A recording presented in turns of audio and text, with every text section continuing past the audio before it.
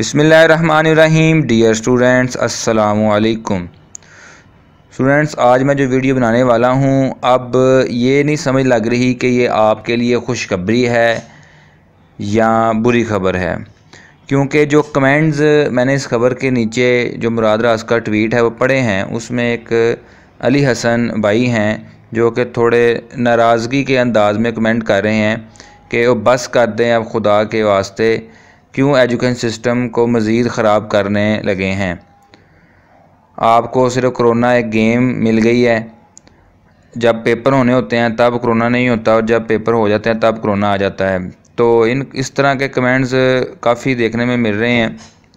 एक ये मोहम्मद अहमद अकम साहब हैं, सब अभी तो सर अभी तो यूनिवर्सिटी खुली भी नहीं है कि दो सेमेस्टर ऑनलाइन पढ़े हैं, जीपीए भी नहीं आए। काइंडली हमें घर बैठे बैठे इंजीनियर ना बनाएँ। अब देखें, यहाँ का मैसेज है, जिससे आप अंदाज़ा लगा सकते हैं कि स्टूडेंट्स इस खबर पर नाराज़ लग रहे हैं, लेकिन बहरहाल फिर भी छुट्टियाँ तो गवर्नमेंट ने जो है वो मुराद रासन में ट्वीट के ज़रिए ऐलान कर दिया है कि छः सितंबर से जो है, जो स्कूल हैं, वो बंद हो रहे हैं।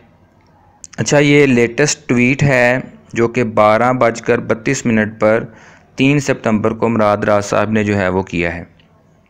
All public and private schools of Punjab to be closed from September 6 to September 11th 2021 due to COVID 19 condition JEE student अब ये आपने ही अंदाज़ा लगाना है कि ये आपके लिए खुशखबरी है कि बुरी खबर आप मुझे कमेंट करके ज़रूर बताइएगा